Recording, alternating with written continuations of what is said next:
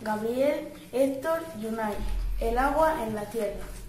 Abrimos y aquí tenemos la hidrosfera y el ciclo del agua y un dibujo. Aquí tenemos el ciclo del agua, que aquí está toda la información. Luego aquí las aguas marinas y toda la información de las aguas marinas. Luego aquí tenemos los ríos y tenemos información dentro. Luego aquí tenemos un juego que tienes que unir información con el dibujito.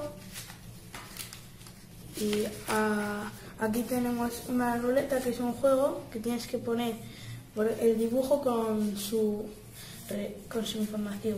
Luego aquí tenemos un dibujo del curso del río y un poco aquí información y aquí también un poco de información.